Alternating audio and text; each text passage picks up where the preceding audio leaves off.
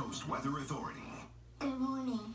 Hi, I'm Bryce, and I go to Kirk Elementary. I'm in second grade, and today's your weekend forecast.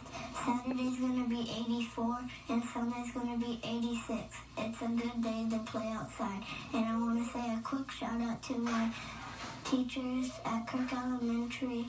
My first grade teacher, Miss Montemayor, and my two second grade teachers, Miss Hankins and Miss Owens.